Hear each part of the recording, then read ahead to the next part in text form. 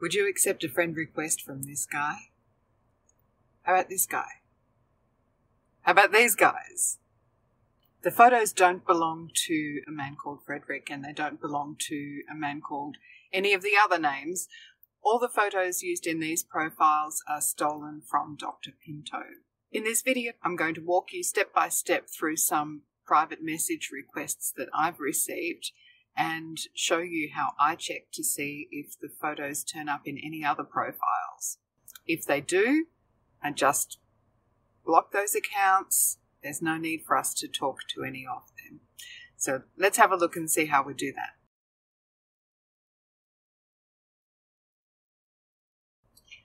I'm Kerri O'Donnell, and on that scam show, I talk about different types of scams that we can come across in our ordinary day to day lives while we're doing things like reading emails, using social media, doing internet searches, and that sort of thing.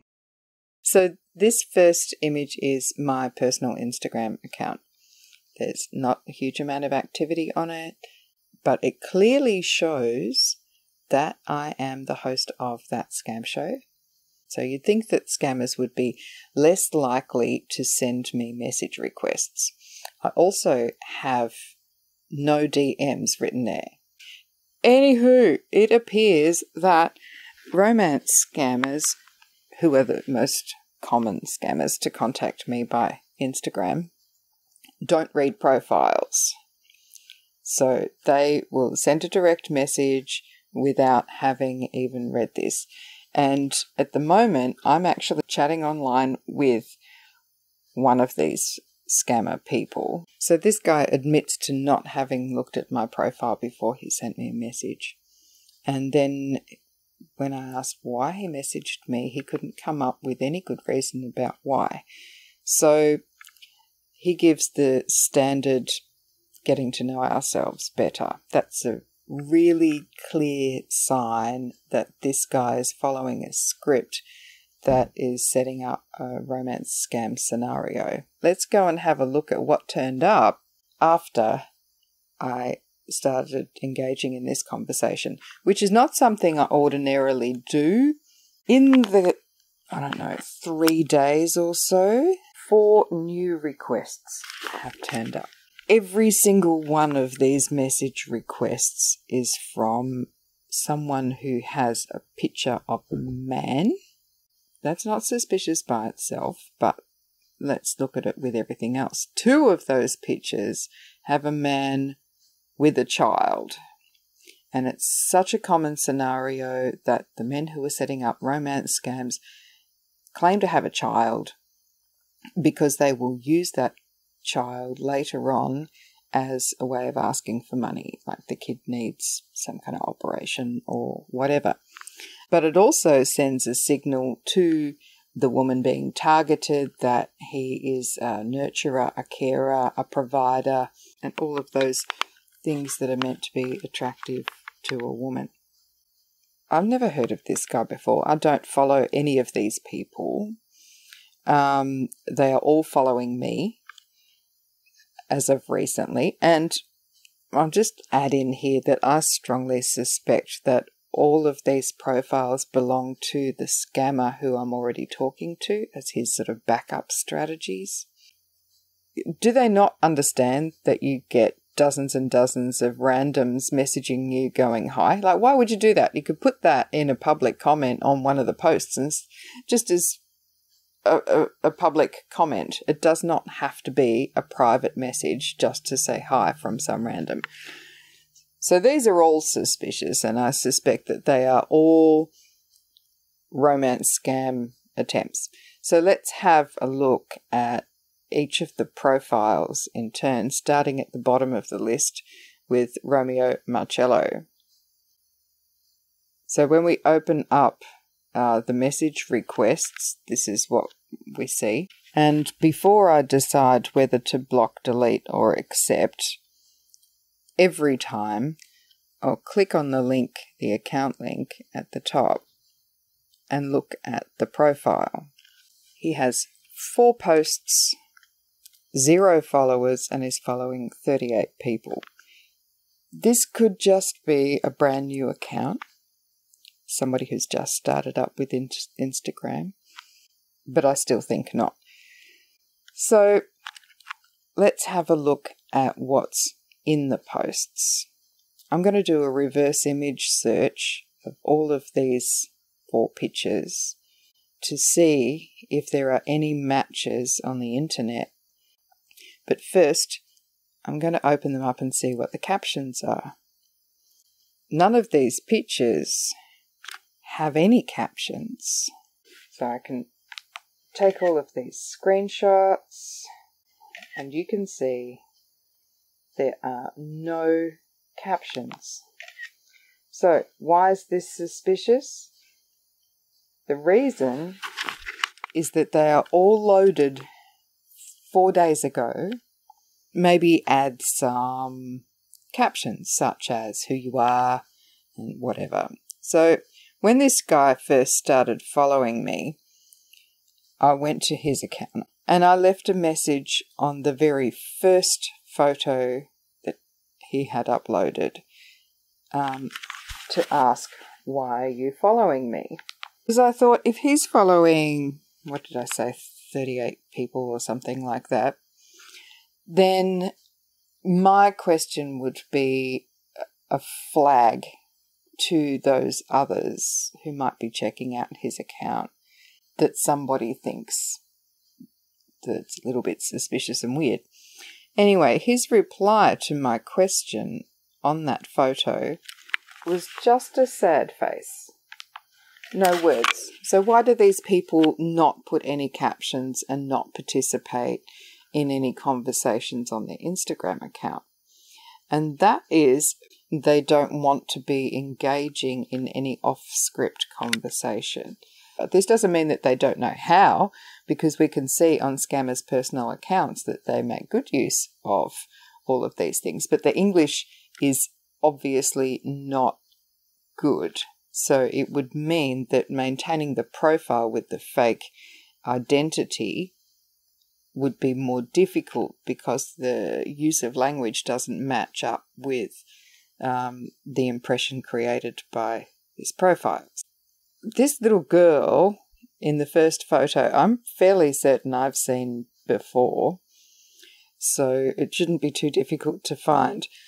So, because I'm using a tablet to look at these accounts, I'm going to screenshot all of these photos and send them to myself in Messenger so that I can use a desktop computer and uh, reverse image photo search on the desktop. So there's no need to take any notes about the steps that I'm going to follow because everything's going to be summarized in the description of this video and I'll also put it on the website. Okay, this is just a basic Google search tab. I want to search uh, images, so I'm just going to make it easy for myself.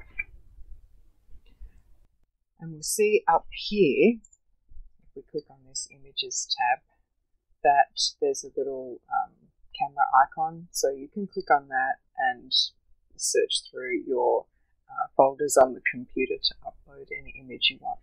Or what you can do is just uh, select an image and drag it into the section. So I've chosen uh, one of Romio's images and it says here that no other images of this type have been found. So um, the results indicate some similar images. So direct match doesn't mean that it's not a stolen photo. So down here we see a match from Scam Haters United, which is an anti-scam page that reveals uh, scammers, specifically um, often romance scammers. So we can already see John, Richard, Jason, Sean. So I don't know if that is the real person's or if that's the name of a fake account. So let's just have a look and see what it says in here. So here we go. This uh, image this person's photos used by the names John Richard, Jason Shan, Andrus Caradoc, and other names on various social media. So we can see here's one of the accounts that's been uh, investigated by Scam Haters United, and they have identified that it's a stolen image. Um, same person's photo being used as a different account, same person's photo being used in a different account. Oh, this is interesting. Here are some examples of emails that have uh, been sent by these fake accounts. What I find interesting is there is something bordering me. Down here again, there is something bordering me because they do cut and paste, right? One of the messages I received recently from a romance scammer who I believe is connected to this fake profile I've been looking up uses the same term. Something is bordering me. So I just find that a bit interesting and, you know, uh, some little clue that further connects the fact that um, this profile turned up, this one here, within days of me accepting a conversation with this first um, romance scammer. So, anyways, we can identify that Romio is a suspicious profile simply because the same photos have been used in other profiles. But let's not just settle for one. We can go and have a look at another of the pro, uh, photos that this same, I have to switch back to images, that this same person put um, in his private, uh, in his account on Instagram. So this one again uh, doesn't come up with any direct matches.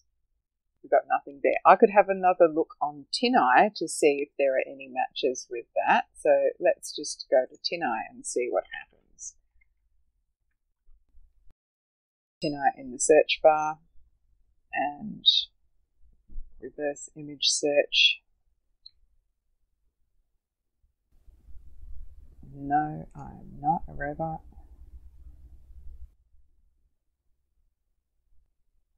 Alright, so again, we can drag or drop um, into this, I think. Let's see. There we go. If you want to upload it, you can use the little up arrow, this one here.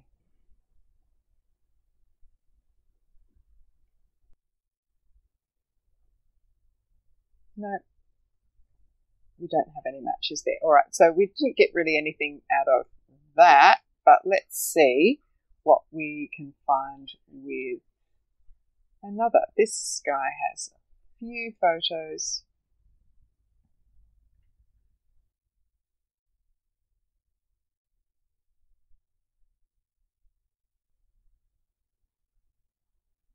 Sitting.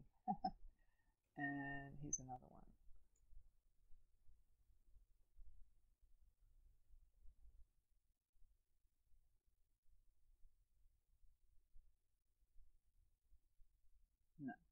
So I'm not concerned that those um, other three images did not uh, form a match because we already have one that does match and it does show up with multiple identities.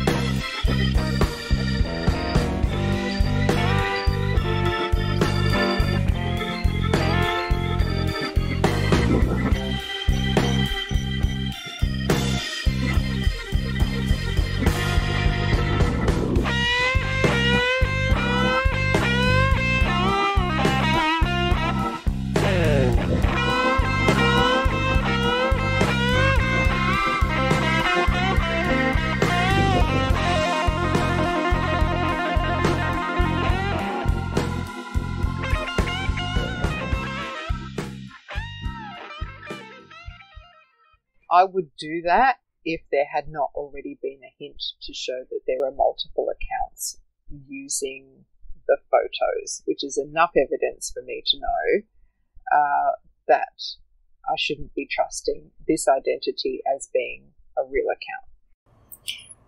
You don't need watertight proof that an account belongs to a scammer, and you don't need to know who a scammer is. Just block, block, block, block, block, block. Thank you for watching this video. I hope there was something in it that was helpful to you and that will be useful to you in the future.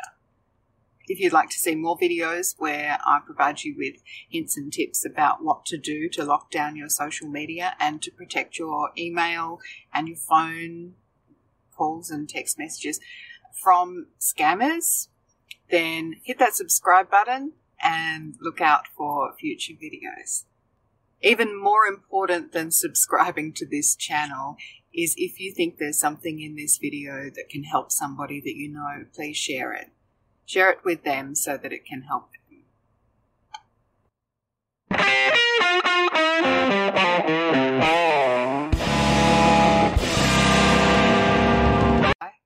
Oh, wait, microphone. Would you accept a personal there? Would you accept a private Oh, no, that's not what I wanted to say.